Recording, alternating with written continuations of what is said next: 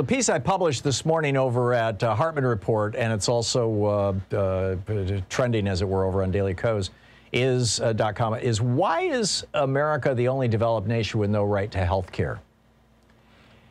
And it's, it's a, a, very short summary of a few of the things that I learned when I was last year when I was writing uh, this book that'll be out in the next month or three, uh, titled the, the Hidden History of American Healthcare. It's my, it'll be my newest book in the series.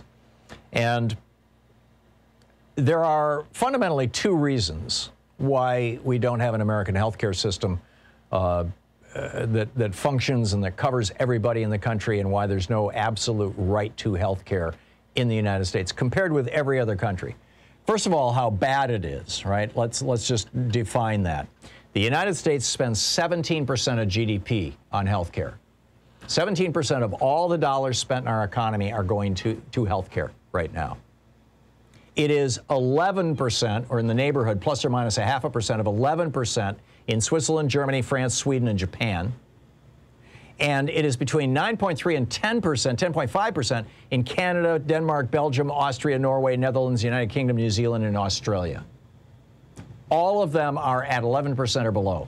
We are 17% of GDP. 22% of all our taxable payroll right now is healthcare premiums. Let that one sink in.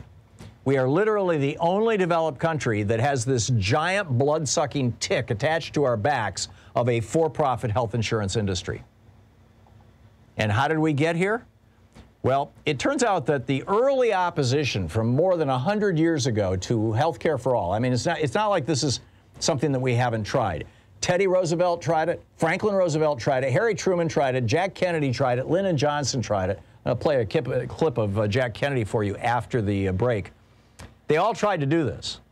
None of them could pull it off. And it's because back in the 1890s, in 1896, the same year that the Supreme Court made America an apartheid, uh, formally, officially, an apartheid country with the, with the Plessy versus Ferguson decision, that same year, a guy by the name of Frederick Hoffman published a book titled Race, Traits and Tendencies of the American Negro.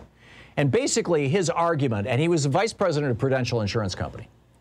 His argument was that American African Americans were African Americans were so genetically inferior, both intellectually and physically, that if they were denied health care for just a couple of generations, they would all die out and it would solve the race problem in America.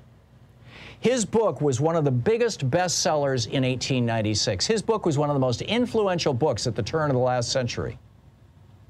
He testified before Congress. He was quoted by, by conservative politicians ad infinitum. And this is why all the southern states, to this day, I believe, refuse to even expand Medicaid. No, we can't have health care for those black people. You know, they'll just die out if we don't.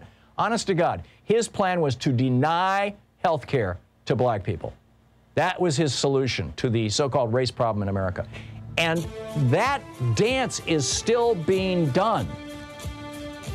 So that's that's half of it. The other half is the mind-boggling profits, like Dollar Bill McGuire, the, the former CEO of United Healthcare, who took one and a half billion dollars from his uh, time as CEO of that company. He had to pay back over 400 billion to avoid prosecution, but hey, he walked away a billionaire. This is this is a, a, a giant blood-sucking tick.